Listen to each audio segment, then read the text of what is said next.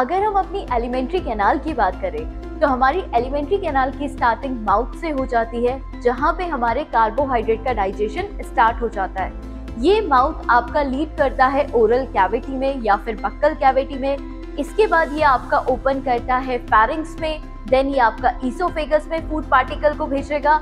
Then oesophagus से जो food है, वो आपका स्टमक में जाता है, जहाँ पे प्रोटीन का डाइजेशन स्टार्ट हो जाता है एज वेल एज वो आपका फोर टू फाइव आवर्स के लिए फ़ूड को स्टोर कर सकता है। अब जो फ़ूड है, वो आपका स्मॉल इंटेस्टाइन में जाएगा, जो आपका कौन कौन से पार्ट है? डिओडेनम जेजुनम इलियम यहाँ पे आपका फ़ूड पार्टिकल जाता है। देन वो हमारा लार्ज इंटेस्टाइन में जाता है, जहाँ पे बेसिकली आपका सीकम कोलोन एंड रेक्टम आता है।